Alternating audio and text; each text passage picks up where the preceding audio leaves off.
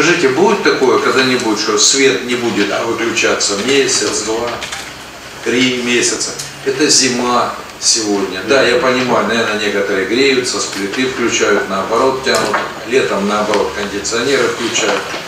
Ну это же просто, ну, ну просто нонсенс. А какой-то у нас каждый день, через день 2-3 тысячи людей сидят без света 4-5 часов.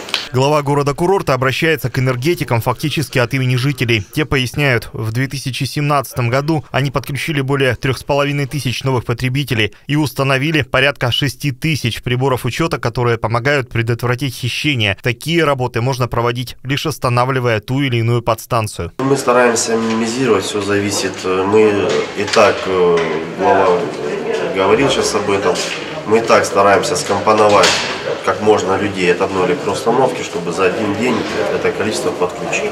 По словам Максима Снивщикова, закон жестко регламентирует сроки подключения. Юрий Поляков в ультимативной форме потребовал дать ему предложение, как исправить положение дел. То аварийные отключения, то плановые, то аварийные, то плановые.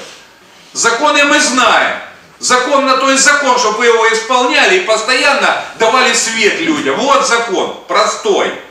Закон не такой, что я вас отключу, потому что мне надо Васю там включить. Это не закон. Я вас убедительно прошу, мне предложения дайте какие-нибудь.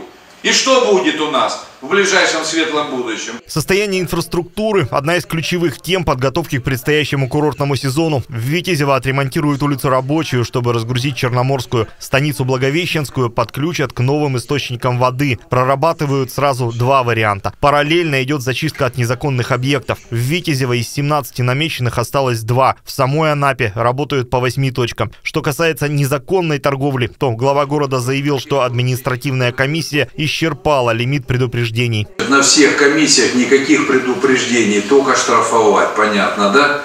Никаких предупреждений, никого убаюкивать мы не будем. Все, все это одни и те же люди, которые нарушают и несанкционированную торговлю. Практика показывает, что любая активная работа рано или поздно дает результат. Так уже пять застройщиков готовы передать в ведение муниципалитета 7 помещений общей площадью порядка 270 квадратных метров. Там планируется размещать почтовое отделение, опорные пункты полиции, другие социальные объекты.